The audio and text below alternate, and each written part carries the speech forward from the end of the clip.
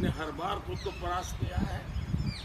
मोदी ने खुद को हर बार आगे ले जाने की कोशिश की। और इस पल भी मोदी मोदी को ही चैलेंज कर रहा है। मैं खुद को चैलेंज कर रहा हूँ कि मैं आने वाले पाँच सालों में सामान्य मानवीय के सपनों के लिए पहले से और तेज गति से कैसे दौड़? पहले से और ज़्यादा बलक पर कैसे काम करूँ? दुनिया को आज मैं पास पास लाया हूँ। पाँच साल में दुनिया को साथ साथ लेके कैसे चलो? ये मोदी को चैलेंज है और मोदी उस चैलेंज के लिए स्वीकार करके मोदी को ही मोदी चैलेंज देता रहेगा। तो मैं आपसे